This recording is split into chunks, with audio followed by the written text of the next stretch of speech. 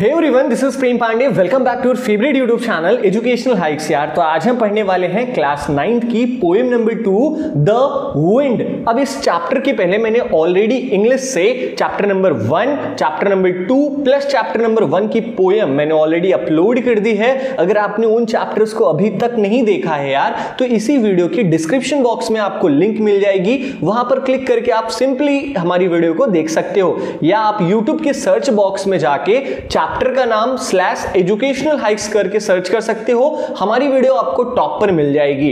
अगर आप नए विजिटर हो हमारे चैनल पे यार तो सब्सक्राइब बटन को प्रेस कर देना और बेल आइकन को भी दबा देना ताकि हमारी वीडियोस की नोटिफिकेशन सबसे पहले आपको मिले। तो चलिए स्टार्ट करते हैं चैप्टर नंबर विंड की line by line Hindi explanation अब ये पूरा चैप्टर है क्या? इसके बारे में आपको थोड़ा सा ओवरव्यू दे देता हूँ। यहाँ पर देखो कुछ लिखा गया है। यहाँ पर लिखा गया है कि the wind blows strongly and causes a lot of destruction how can we make friends with it यहाँ पर कहा गया है कि जो आंधी होती है, जो बहुत तेज हवा चलता है ना, वो बहुत तेज से चलता है और बहुत ज़्यादा नुकसान भी करता है। हम इस आंधी को, इस तेज हवा को कैसे अपना दोस्त बना सकते हैं, यही हम इस पूरे पोयम में पढ़ने वाले हैं। अब मैं आपको वो चीज़ बताने वाला हूँ, जो आपको किसी भी वीडियो में नहीं बताया गया होगा।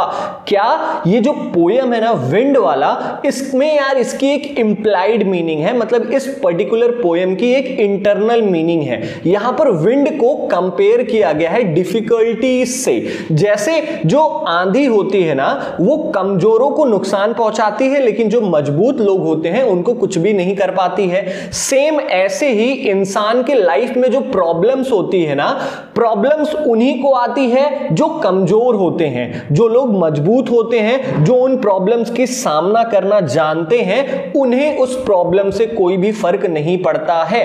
तो इतना मान के चलो इस पोएम में, हम पढ़ तो रहे हैं विंड के बारे में, लेकिन पोएट ने इस विंड को कंपेयर किया गया है। इंसान की जीवन में आने वाली जो डिफिकल्टीज है ना, उनसे कंपेयर किया गया है। तो चलिए स्टार्ट कर अब इस पर्टिकुलर पोयम में ना यार, जो पोएट है, वो विंड से बातें कर रहा है।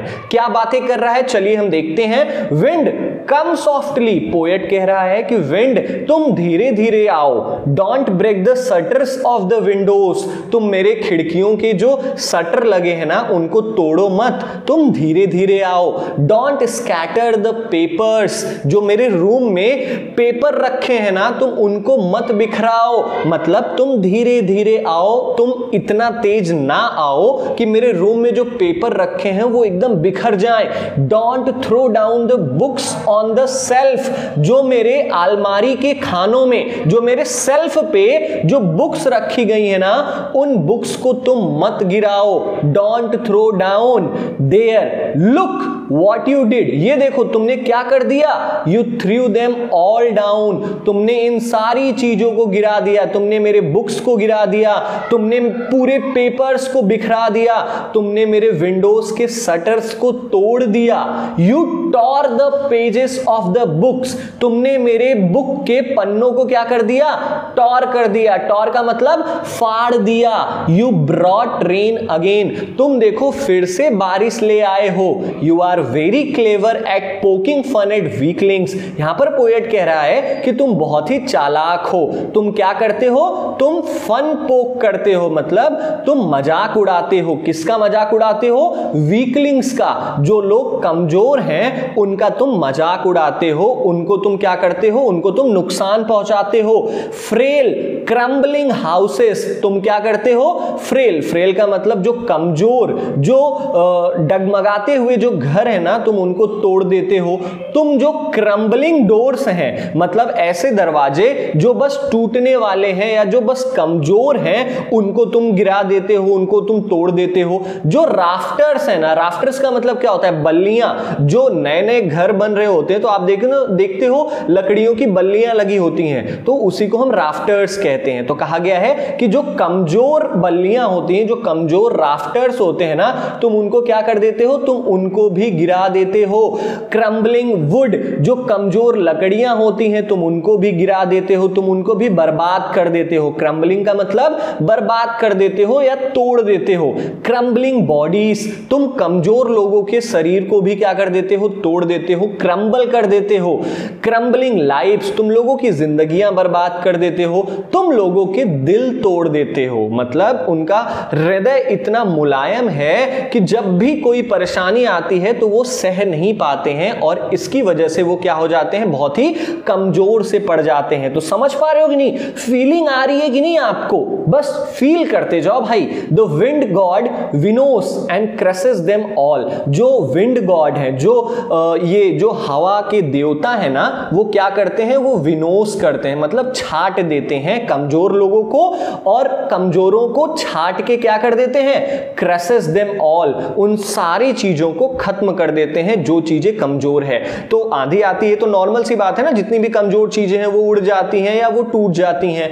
He won't do what you tell him अब यहाँ पर पोएट बता रहा है कि जो तुम कहोगे, जो विंड गॉड को तुम कहोगे कि धीरे धीरे आओ तो विंड गॉड ऐसा नहीं करेंगे। मतलब विंड गॉड वो नहीं करेंगे जो तुम उन्हें कहने, करो, करने को कहोगे। इस लाइन में यही कहा गया है कि he won't do what you tell him मतलब जो विंड गॉड है, वो ऐसा नहीं करेंगे जैसा तुम कहोगे। उनकी जैसी मर्ज़ी होगी, वो वैसा ही करेंगे।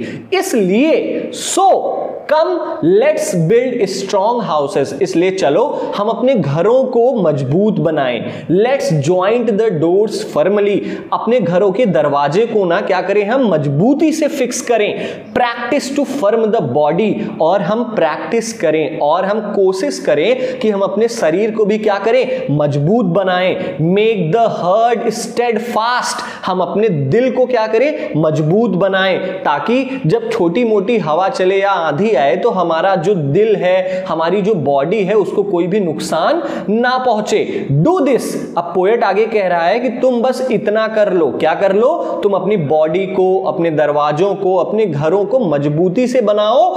इससे क्या होगा?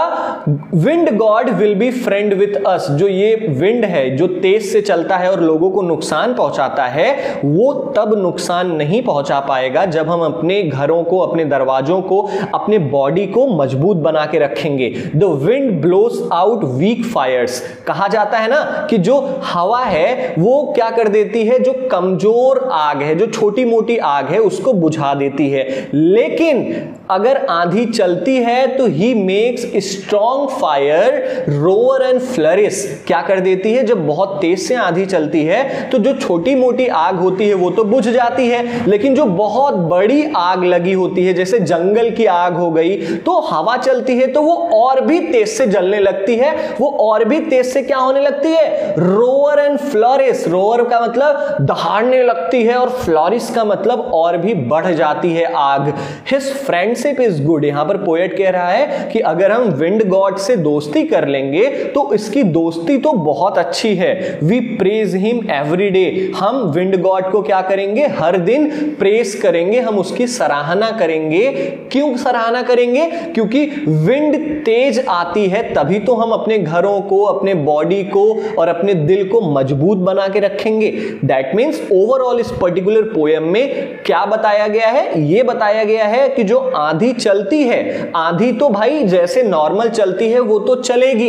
इसके लिए हम क्या कर सकते हैं? हम अपने घरों को मज़बूत बनाएँ, हम अपने दरवाजों को मज़बूत बनाएँ, हम अपने खिड़कियों को मज़बूत बनाएँ। ऐसे ही सेम ऐसे ही अगर हमारी लाइफ में प्रॉब्लम्स आती हैं तो हम उससे डर के भागे नहीं। हम अपने आप को मज़बूत बनाए, हम उसका सामना करें। तो this is all about the poem और इस पोएम को लिखा है मैडम सुब्रमण्यन भारती ने। ठीक है, उन्होंने तमिल में लिखा था, लेकिन इसको हिंदी में ट्रांसलेट किया गया सॉरी इंग्लिश में ट्रांसलेट किया गया है। तो आई थिंक आपको ये जो पर्टिकुलर पोएम है विंड वो बहुत अच्छे से समझ में आ गई होगी। और अगर कोई भी दिक्कत इस पर्टिकुलर पोएम में आती है तो you can comment below and ask me मिलते हैं अपने अगले वीडियो में, तब तक के लिए जय हिंद।